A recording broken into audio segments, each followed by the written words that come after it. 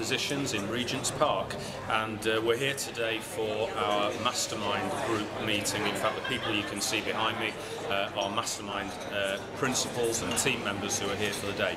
Just wanted to talk to you a little bit about financial modelling because that's our theme for the week.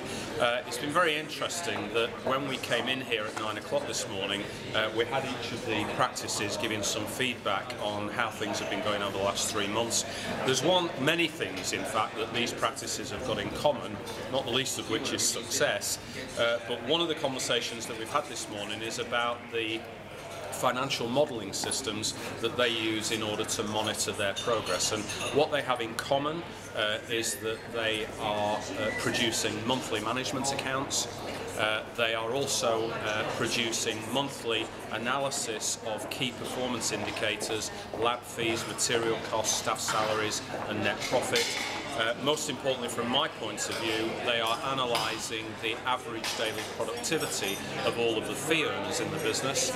Uh, and what we also have is a 12-month cash flow forecast and they are monitoring uh, progress budget versus actual.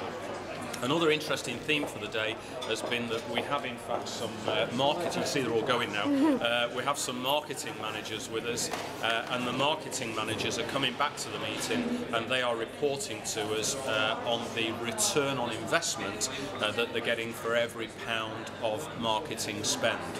And it's when you actually have that information that you can begin to plot a course through the next 90 days and the next 12 months. And also it's very, very interesting from the perspective of a mastermind group that you can compare your financial performance with the other members of the group and see who are the winners and losers in any particular area of activity. So this morning we've been talking about return on investment on radio advertising, uh, return on investment on text message marketing, and we've been looking at some of the other things that they've been doing as well. So my message this week is that when you know the numbers, you can first of all see where you have travelled from.